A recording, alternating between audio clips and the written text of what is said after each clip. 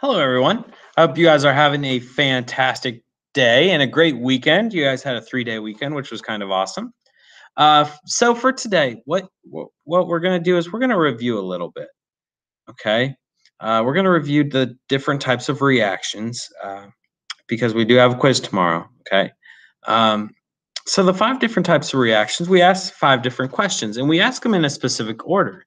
Question one: Does a reaction have only and every CHO. Right? it has to have carbon, hydrogen, and oxygen. If it has those three and only those three, it's combustion. Question two Is there one product? If there is one product, that is synthesis. Question three Is there one reactant? If so, that is called decomposition. Question four is there a compound plus a compound? If there is, that's double replacement. And the final question, is there a compound plus reactant? And that would be single replacement. Okay, those are the five types of reactions. Okay, so what you guys are going to do, uh, I'm going to share my screen right now so that you can see see what I'm doing. Um, what I'm going to do is I'm actually going to post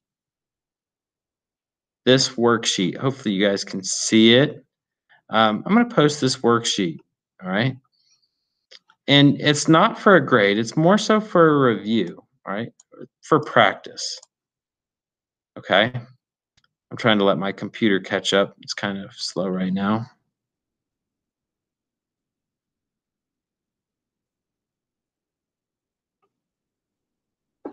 Mm-hmm.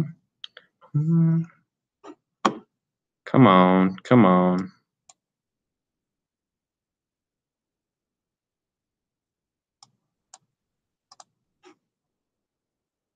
Man, my computer is really slow right now. All right. Um, so what these are, they're task cards. All right. What you're going to do is see different reactions. And what I want you to do is organize each reaction based on if it's single replacement, double replacement. As you can see, all four of those were the same. All right. So you only got to do one of them, right? And for each card, all right? For each card. I want you to try it. Single replacement, double replacement, all right, etc. Okay. So try those out. Um, try solving some of those uh, and see how you're doing. If you're, hopefully, you guys are starting to feel good on the five questions. Um, like I said, I am not collecting that today. It's just a review day. Um, but if you have any questions, let me know um, and we will discuss that. If not, I hope you guys have a fantastic day uh, and we'll see you tomorrow.